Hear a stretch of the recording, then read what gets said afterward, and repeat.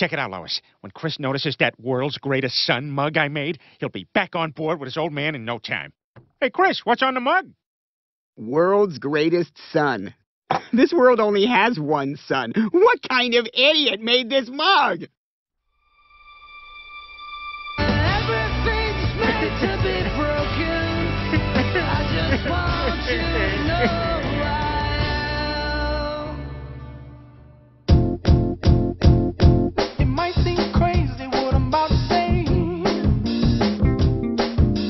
I'm very easily influenced by music.